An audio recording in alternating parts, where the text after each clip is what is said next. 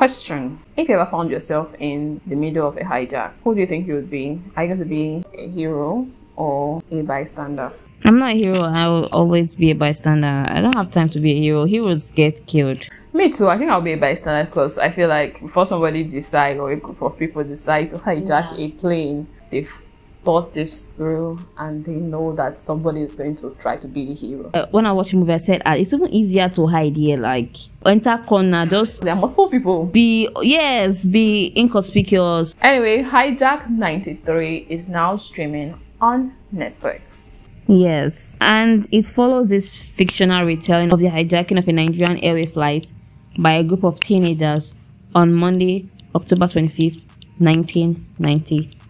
Just like history, this flight was taken off from Lagos to Abuja when it was hijacked by these four young men. And they held hostage all the passengers on board, including some important people and the son of a Chinese ambassador. And the hijackers threatened to kill everyone on board unless Nigerian authorities agreed to their demand to reinstate their democratically elected candidates. Let me just say I appreciate that Nollywood is trying to make movies based on our history, something that some Nigerians could relate to and just teaching a new generation who are not aware of these things. Might even inspire people to just stand up and fight for what they care about. I appreciate that fact, but this is a fictional retelling of events. I don't think I like the story so much. Yes, it's a fictional retelling, and when this Hijack 93 was coming out, never heard about this story before my entire life. This is the first time I'm hearing about it. I was eager to see it because, like you said, it's nice that we're getting this story and seeing it through the lens of its filmmaker. It's nice, but I think that the movie failed at making me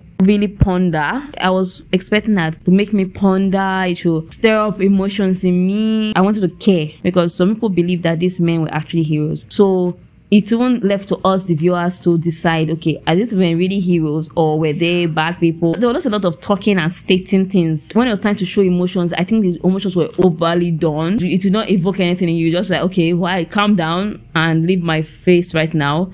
You're doing too much. I wasn't hyped for it because Nigerian action films need a whole lot of work. And this film don't have a lot of action in it. Yeah. I was expecting some kind of action because this is an enclosed space. Yeah. I knew those kind of things were supposed to happen and it didn't even happen. So I'm happy that I don't get my hopes very high. Yeah. And it's great that the filmmakers had their own creative freedom for this film because making it a fictional telling it's nice i don't think they utilized it very well Mm, because whose lens are they telling the story from it could have been maybe one of the passengers that were on board that day. Because they started this film of like one of the air hostess and the pilot they are engaged. Yeah. then we saw that these boys they have somebody that is leading their um, activism. They have a leader.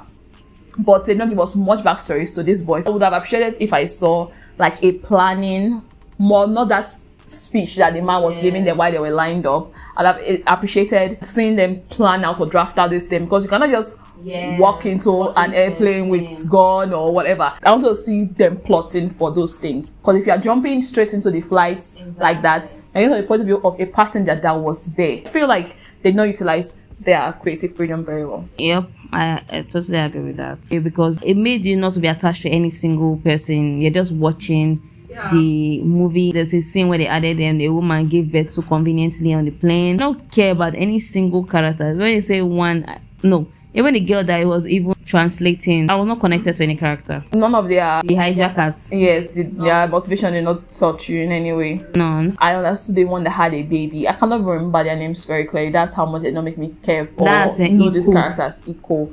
And I don't think they showed every other person's motive or why they joined Showed the other uh, Owiwi, the owl, the one that his father always beats him up. I don't think his motivation was valid. Then the other boy that he has lost everybody. So when you feel like you've lost everybody, you feel like he doesn't have any other thing to live for except to just fight for a better nation. Yeah, and the future. Then the last boy that sat next to the girl, did they show us his motivation? I don't remember seeing anything about him. don't remember seeing any motivation from him. He liked the girl, but there was even no room for him to express his emotions to her.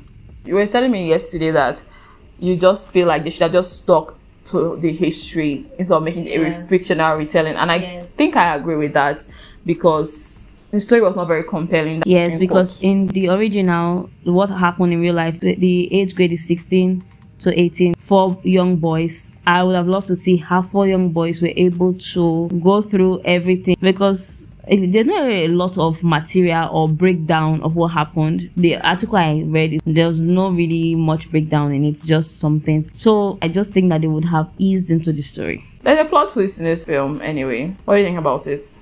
Irrelevant. I could spot it from A like mile a away. mile away. Yeah, from the minute it was mentioned. Before the pilot was mentioned, I'm like, okay, because this boy went to the bathroom and he got a gun, it will not just appear there. So that's why I said I want to see their planning and their entire process. Yeah. And when they reveal at the end that oh see, I'm like, oh, I do not care. It was already over, so like, oh okay. And you really could tell from uh, her acting. It was like a hail mary just throwing to make the audience feel like, oh, I said it, I said it.